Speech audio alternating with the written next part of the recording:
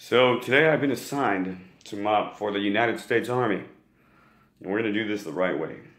So the first thing you wanna do is add water to your bucket of mop bucket.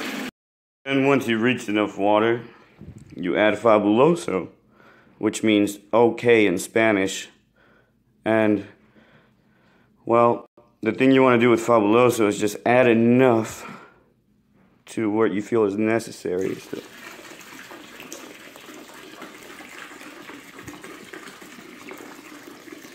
All right. I think that's enough. Let's head upstairs. Oh, fuck. Son of a bitch. Hit the button again. And that's how you do it. There's no wrong way to mop. You just do it. I accidentally dropped the the bucket.